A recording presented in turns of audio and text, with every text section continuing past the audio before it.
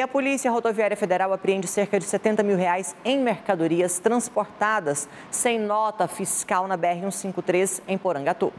A fiscalização de rotina aconteceu na unidade operacional da Polícia Rodoviária Federal em Porangatu. Os 49 celulares e as 49 impressoras estavam sendo transportados no bagageiro de um ônibus de turismo.